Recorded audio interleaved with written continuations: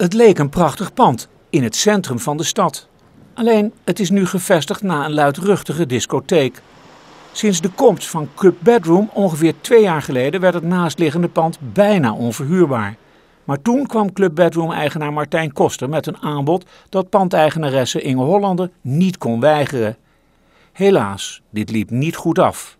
Ja, vanaf het moment dat ze open gingen kon ik hier niet meer slapen. Ik werd echt stapelgek van de herrie. Dus ik ben uh, ja, ook in contact gaan met de gemeente, politie. En uiteindelijk heeft Martijn gezegd van dan huur ik het. En nou ja, dan kon ik gewoon ergens anders gaan wonen. En dat is ook gebeurd. Alleen nu uh, ja, zitten we een beetje in de, in de problemen. Inge Hollander had samen met Koster van Club Bedroom een huurovereenkomst getekend. Maar na ongeveer een half jaar veranderde dit in een financieel drama. Volgens Inge Hollander is er inmiddels een betalingsachterstand van ongeveer 10.000 euro. Weet je, als, als Club Bedroom failliet gaat, en hoe dan ook ga ik ervan uit dat ik dat geld kwijt ben, want ze betalen gewoon niet. En, en uh, nou, in een faillissement, dan is er ook een faillissement, is ook geen geld. Dus, dus wat ik gewoon wel wil, is dat het weer voor mij wordt. Weet je, ik heb het verhuurd met, in goed vertrouwen. En, en dat vertrouwen is in, in meerdere opzichten gewoon beschaamd.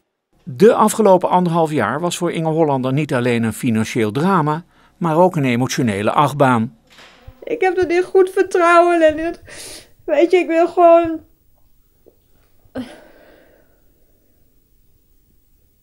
Ik ben altijd goed geweest voor, voor huurders ook. En, en ik heb een tijdje bed and breakfast hier gedaan. En weet je, ik, ik, weet je, ik heb op mijn kosten dit huis mooi gemaakt. Ik, ik, ik heb.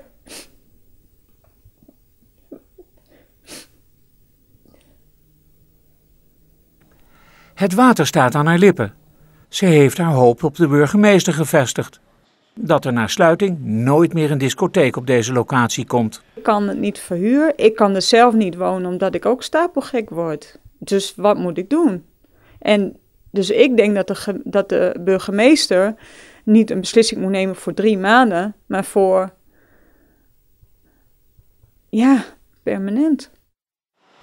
Club Bedroom-eigenaar Koster wilde niet reageren voor de camera. Hij ontkent in alle toonaarden de beschuldigingen van zijn buurvrouw.